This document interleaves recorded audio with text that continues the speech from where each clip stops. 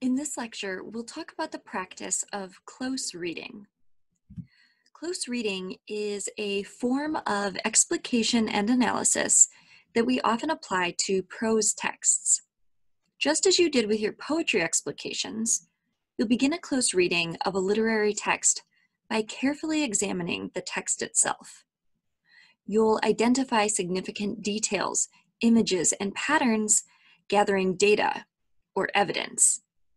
And then you'll interpret your observations by explaining how these details, imagery, and patterns work to create meaning in the text.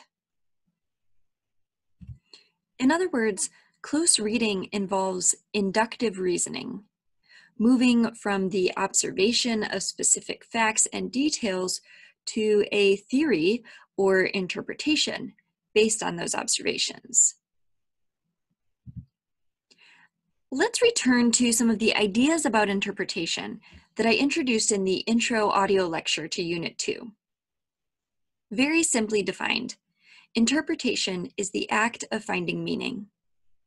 I'm using the word act because interpretation is always active.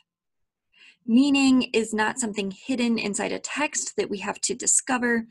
Instead, we help to produce meaning when we read or view a text. Interpretation is collaborative.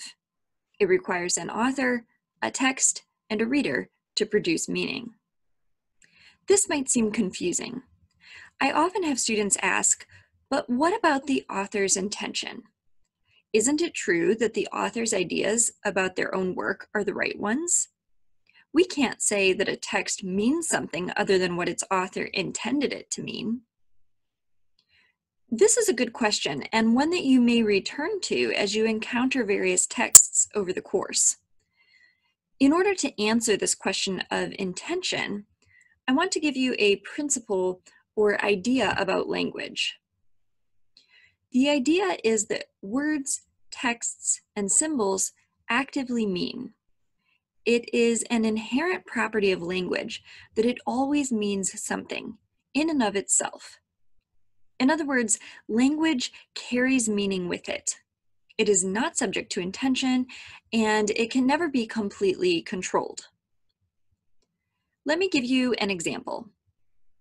Let's say that I buy a t-shirt with a racial slur on it. But I don't know that it's a racial slur because I've never heard the word before. I buy the t-shirt simply because I like the color and design and it's on sale. If I wear this shirt to a party, not intending to offend anyone, is the shirt still offensive? Of course it is. Although my intentions were innocent, the word on the shirt carries its own meaning with it, and my intentions can't control that meaning. This is an extreme example, but the principle behind it applies to all texts. An author's intention can and should influence our interpretations, but it's not the final word. Instead, we want to look closely at the text itself and find meanings there. Close reading is a practice through which we can do this. It involves looking closely at the text, combining explication with analysis, as you seek to understand the various implications of the text. It's important to carefully and rigorously tie our interpretations to what exists in the text itself in an effort to avoid reading into the text meanings that aren't there. We want to avoid imposing our own biases and assumptions.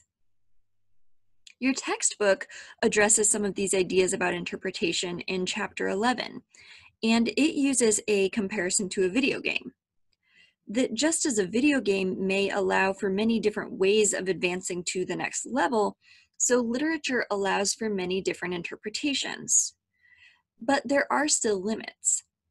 It's not that anything goes, but rather that by focusing your attention in different ways, you can see different meanings. Some interpretations are better than others. And in order to create a strong interpretation, you have to tie your ideas closely to the text itself. Remember the detective metaphor that we talked about earlier? Close reading involves using the text as evidence to support your theories about it. All of this is to say, don't determine your conclusion before you do your close reading. Instead, let your ideas come from your close examination of the text.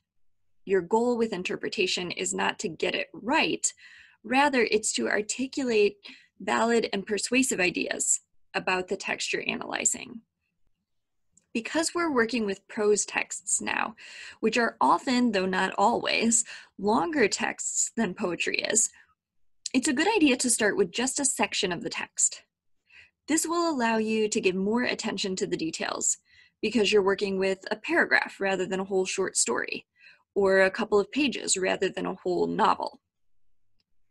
For your close reading assignments for this module, the section of the text has already been chosen for you, and you're going to practice a six-step process for close reading. Step one is paraphrase.